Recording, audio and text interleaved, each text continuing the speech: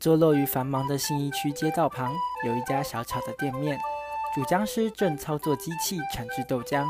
另一名员工则将豆浆进行装瓶冷藏。透过产制过程的公开透明，让顾客可以食得安心。其实豆制所的特色之一就是推出单一品种的豆浆，例如高雄选十号或是花莲一号。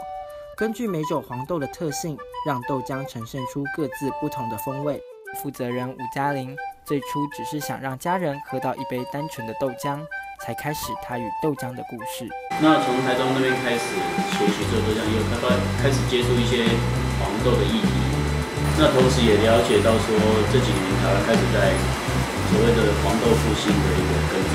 活动，一个一个行动。那政府不管是政府民间，其实很鼓励。台湾的农友去不跟黄大豆，就是黄豆。吴嘉玲也发现到，台湾黄豆其实有不少问题，包括价格很高、产量少，还有相对国外品质不稳定，这些都是台湾黄豆的弱势。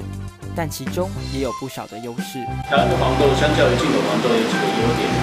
第一个它新鲜，它比较新鲜；那第二个它种类很多，它的品种很多。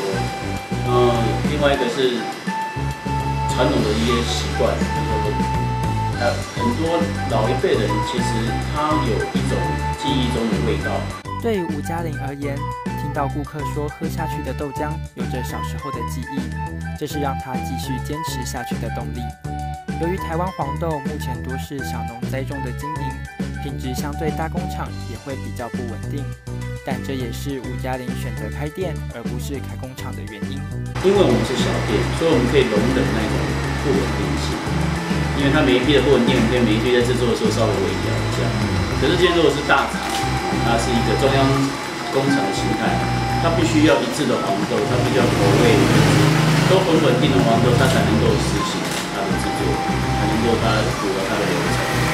嘉玲期望能将台湾黄豆推向更精致化，让豆浆不再是早餐的配角，而是可以很细腻的去品尝，了解不同黄豆品种之间的差异，就像喝咖啡一样，找到自己喜欢的口味。